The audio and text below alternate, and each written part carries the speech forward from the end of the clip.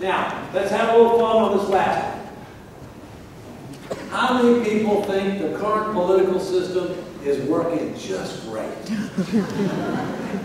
Let the record show, no hands are raised, and, and I can assure you, none have been raised at any place, at any time that I've been.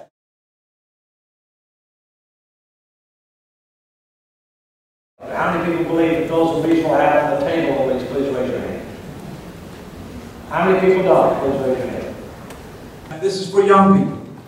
Young people who know that their future is being mortgaged. They want to leverage their voice because you're going to get the bill. You're going to get the bill. Understand the difference between spending and revenue is called a deficit. And deficits represent deferred taxes. Absent a change in course. Deferred taxes, uh, if you will.